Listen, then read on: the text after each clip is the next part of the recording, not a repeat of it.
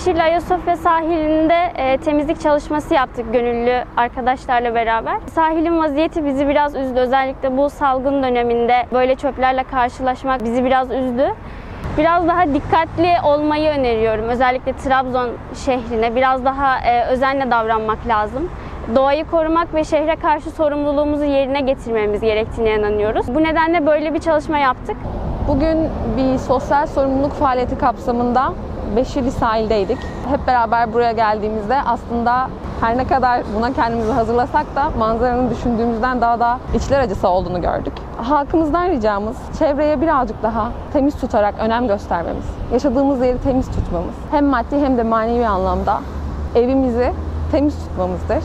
Birim olarak çevreyi temizleyerek insanlara farkındalık yaratmak için burada bulunuyoruz. Unutmamalıyız ki gelecek nesillere bırakabileceğimiz en iyi hediye temiz bir çevredir.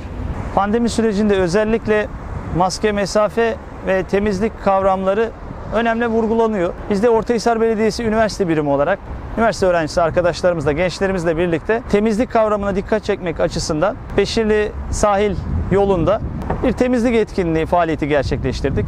Özellikle genç kardeşlerimizle burada temizliği yaparken şuna dikkat ettik. Sigara izmaritleri, plastik şişeler, camlar, tenekeler hem kayalıklara hem de sahil yoluna atılmış bir vaziyette bulduk. Tabii bu güzel şehrimize yakışmıyor. Biz dinimiz olarak hem de medeniyetimiz olarak e, temizlik manasında hep yıllar boyunca güzellikler, hoş hatıralar bırakmış insanlarız. Ecdadımız bu güzelliklere imza atmış.